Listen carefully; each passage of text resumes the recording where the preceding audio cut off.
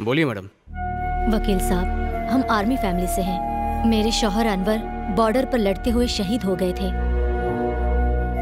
उनकी इस बहादुरी और शहादत के लिए सरकार की तरफ़ से हमें 16 एकड़ ज़मीन खेती के लिए दी गई थी। लेकिन एक बिल्डर ने वो ज़मीन हड़प ली है। उसने वहाँ पर कब्जा कर लिया है। मेरे दामाद ने आवाज़ उठाई तो उसे घसीट कर ले गए। ये तो नाइंसाफी है। पुलिस ने कुछ नहीं किया। पुलिस एमएलए सब उससे बहुत डरते हैं वकील साहब। किसी ने कुछ नहीं किया। मैं करूँगा लाइए फ़ाइल दीजिए। उन्हें तो मैं घसीटते हुए कोर्ट लेकर जाऊँगा। नाम क्या है उसका? मसूद पहलवान है उसका नाम।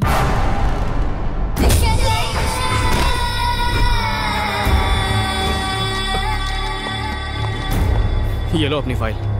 देखो बहन मसूद के खिलाफ मैं ही क्या शहर में कोई केस नहीं लड़ेगा। मुझे माफ़ कर दीजिए। हम बहुत उम्मीदें लेकर आए थे। देखिए मैं कुछ अरे प्लीज़ भाई साहब मेरे शौहर को बचा लीजिए। एक ऐसा वकील है। उठो बहना तुम्हारी मदद सिर्फ़ श्रीपति ही कर सकता है। कोर्ट जाना उसे पसंद नहीं बहस करना उसकी आदत नहीं पर वही आपकी मदद कर सकता है। अदालत के अंदर जाकर उसने आज तक एक भी केस नहीं जीता है पर अदालत के बाहर कभी हारा नहीं। और इसकी वजह है उसका बेटा, जिसके नाम से दहशत भी कांपती है। जहाँ पर इंसाफ दम तोड़ देता है, वहीं से उसका न्याय जन्म लेता है। वो अदालत के फैसले के लिए नहीं रुकता, सीधा सजा देता है। एक बार उसने केस अपने हाथ में ले लिया। फिर सामने सीएम हो पीएम हो आईएसआईएस हो, कानून तोड़ने वाले की कमर तोड़ के उन्हें अपाहिज कर देता है। समाज का रखवाला है वो।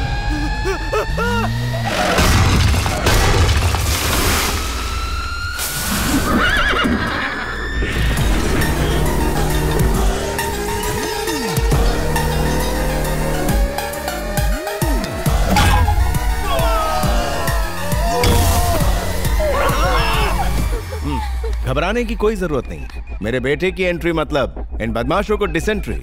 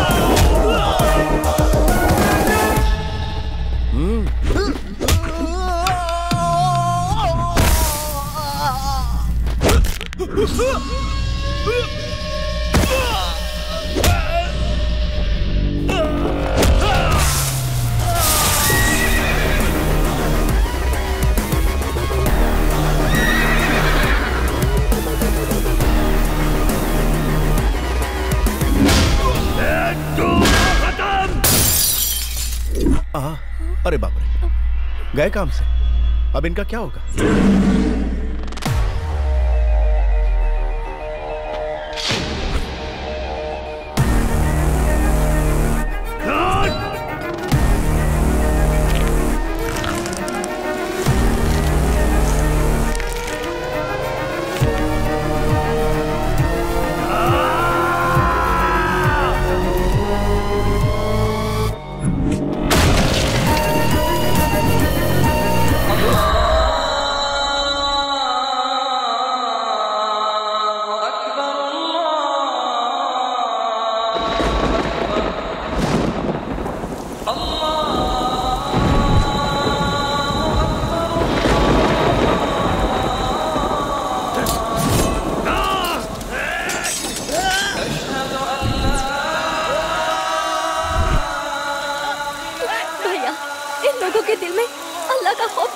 वो मार देंगे उसे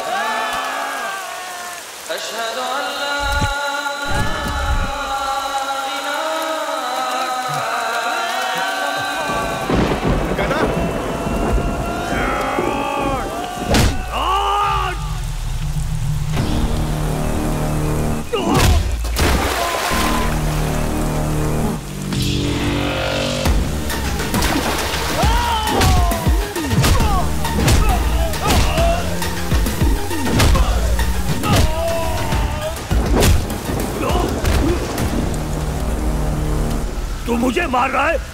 जानता है मेरा नाम क्या है? तेरा जो भी नाम क्या तू खुद को बचा पाया? क्या खुद को पिटने से रोक पाया?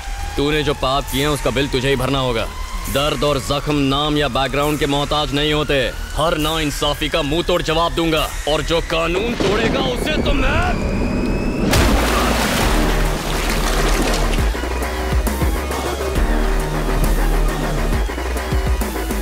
अरे बहन जी कोई ज़रूरत नहीं। बिल्कुल मत घबराइए ओके? बेटा तुम्हें चोट तो नहीं लगी ना? कुछ नहीं हुआ। लगी भी होगी तो तुम कहाँ मुझे बताओ मुझे कुछ हो सकता है क्या चाचू?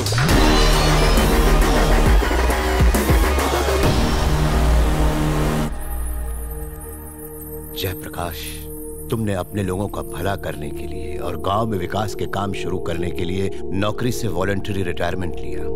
I am so proud of you कैसे आना हुआ? उमापति मेरा जो अनुभव है मैं पूरे गाँव को उसका लाभ देना चाहता हूँ। पर आए दिन हो रहे कत्ल को रोकना मुश्किल हो रहा है। मुझे उम्मीद है सीएस होने के नाते तुम मेरी मदद ज़रूर करोगे। क्या कहा? कत्ल? कौन करवा रहा है? विक्रम धनुष। कल उसने इनके पिता को मार दिया। पता नहीं ये खून खराबा आखिर कब रुकेगा। आखिर उसकी प्रॉब्लम क्या है? इसे देखिए। यहाँ। हरे रंग में ये खेती की ज़मीन है।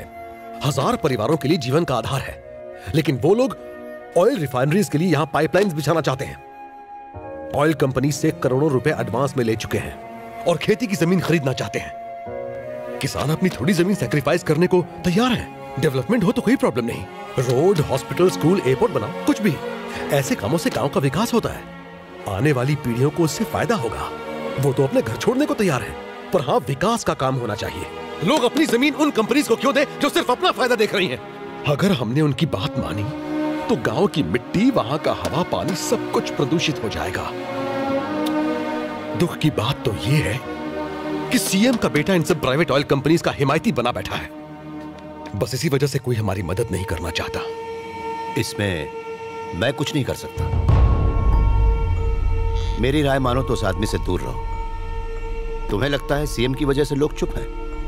ऐसा नहीं। है असली पावर सीएम के बेटे में है। और तो और तुम यहाँ पर आए हो इसकी जानकारी उस तक पहुँच चुकी होगी। वो किंग नहीं किंग मेकर है। खैर चिंता मत करो। मुझसे जो होगा मैं करूँगा पब्लिक की नहीं अपने बारे में सोचो।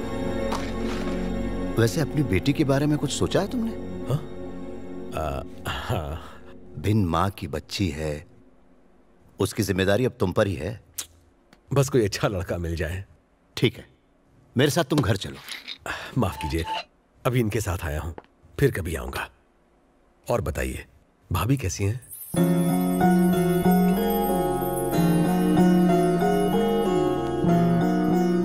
ओ महेश कहाँ छुपा बैठा है तू? छे कल मुही मोटी भैंस इसके दिमाग और शरीर दोनों की चर्बी उतार दूँगी। गोरी भैंस।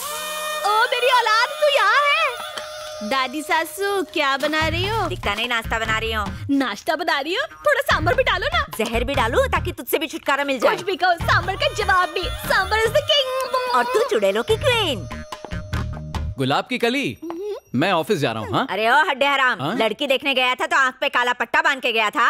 कलर और वज़न देख के फिसल गया होगा। जो इस आटे की बोरी को हमारी गर्दन पे रख दिया। आपकी तकदीर तो अच्छी है मेरी तो गई गुजरी है। मेरे को क्या तकलीफ़? मैंने एक शर्त रखी थी कि ससुराल में खड़ूस दादी नहीं चाहिए। पर जब मैं यहाँ आई और मैंने आपको देखा तो मैंने कहा मैं शादी नहीं करूँगी। इतना नाक लगा रही थी तो क्यों की शादी? इन्होंने झूठ बोला ना। क्या झूठ बोला रहे इन्होंने मुझसे कहा आप सिक्स मंथ में टपक जाएगी। पर ये देखो नौ साल हो गए। मेरे मरने की राह देख रहा है। देसी घी खाया है मैंने।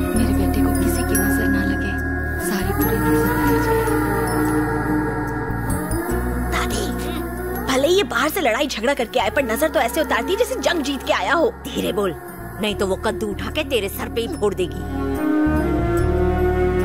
गणेश मेरे बड़े बेटे की औलाद है लेकिन ये दोनों इसे अपना बेटा मानते हैं। इसके प्यार में कमी ना रह जाए इसलिए अपनी औलाद नहीं होने दी। बाप पापा हम्म। एक बात बताओ एक आम वकील अदालत में केस लड़ता है और अपने क्लाइंट को न्याय दिलवाता है। पर तुम केस तो ले लेते हो। लेकिन अदालत में केस न लड़के बाहर इससे लड़वाकर न्याय भैया वो केस थोड़ा हटके था। कल तुमने एक कॉन्ट्रैक्टर को मारा। ज़मीन पर कब्जा किया था। वो कोई मामूली आदमी नहीं है। हमने तो नेक काम शर्म आनी चाहिए तुम्हें। ये ले बेटा। बाहर मेरी सब सुनते हैं लेकिन घर में कोई सुनता ही नहीं है। मीठा खिला रही हो मोटा हो जाएगा। आप होगे ये थोड़ी ना होगा। लड़ाई करके आया हैं ना पी है जैसे डांडी यात्रा से आया क्या हुआ जी? क्या बताऊँ क्या हुआ? इसे आईएएस बनने को कहा तो मना कर दिया। फिर सीए करने को कहा तो कहने लगा भाई खातों में मुझे कोई इंटरेस्ट नहीं है। फिर मैंने कहा लॉ ही कर ले भैया। तो वो भी ढंग से नहीं कर पाया। डिग्री तो मिल गई ना भैया। अच्छा तीर मान लिया। हाँ। और ये मिलिट्री में गया वहाँ कई मेडल्स जीते लेकिन प्रमोशन मिलने से ठीक पाँच मिनट पहले नौकरी छोड़ दी। मिलिट्री बाहर के दुश्मनों से लड़ती है लेकिन देश अंदर से खोखला हो चुका है। किसी को तो उसे ठीक करना ही होगा। मैं करूँगा। तेरा दिमाग तो खराब नहीं हो गया? एक्सक्यूज मी सर आ गया नमस्ते सर। नमस्कार। नमस्ते सर। नमस्ते। तुझे हिब्रू भाषा में कहूँ? नमस्ते नमस्ते। अरे पद्मा आ गई चल सांबर खिलाती हूँ। चल। बिल्कुल सही समय पर आए हो। दस सालों से तमाशा फ्री ऑफ़ चार्ज देख रहे हो। पच्चीस साल तक गधे को चने खिलाओ तू भी वो घोड़ा नहीं बन पाएगा। एक पंक्चर टायर में कोई हवा भर सकता है क्या? ऐसा ही इसका हाल है। इसे एग्ज़ाम हॉल में किताब भी पकड़ा दो तो भी ये पास नहीं हो पाएगा। अगर मिट्टी में पानी डाला जाए तो सिर्फ़ कीचड़ ही बनेगा ना। कुम्हार उससे मटकी ना बना दे तब तक सिर्फ़ गंदगी ही करेगा। गूगल बाबा का सौतेला चेला हूँ इसीलिए सबकी खबर रखता हूँ। सच की डकार अपने आप निकल आती है। यू कंटिन्यू इसे कोई फ़र्क नहीं पड़ता। सर सर सर प्लीज़ इसे नाकारा मत कहिए इसे बुरा लगेगा। खासकर जब ये सच में नाकारा हो। अ, कुछ ढेट लोग बुरा भी नहीं मानते।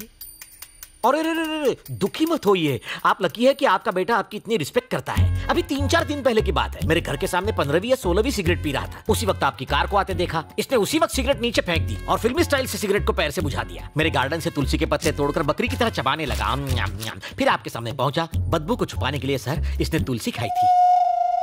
देखो बालक यहाँ बुद्ध मंदिर है। लॉर्ड बुद्ध जी का एक हाथ पेट पर और दूसरा हाथ आसमान की तरफ़ है। जानते हो इसका मतलब क्या है? बात पेट में नहीं रखी तो सीधा ऊपर। एकदम करेक्ट है। आपका बेटा इशारों में बात समझाना जानता है। जोक्स मारना छोड़ो। अंकल से कुछ सीखो।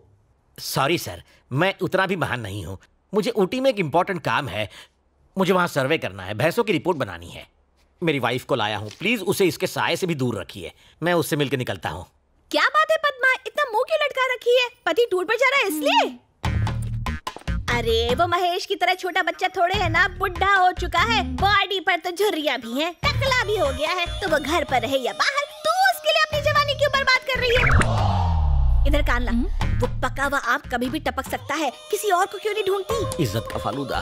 ऐसा मत बोल मेरे पति परमेश्वर है। ए पागल है क्या? मैं कौन सा कह रही हूँ कि इस बुढ़े से तलाक ले ले? समझा कर एक घर के अंदर एक घर से बाहर। सत्यानाश और भी गुजर जाएगी हो, हो, हो।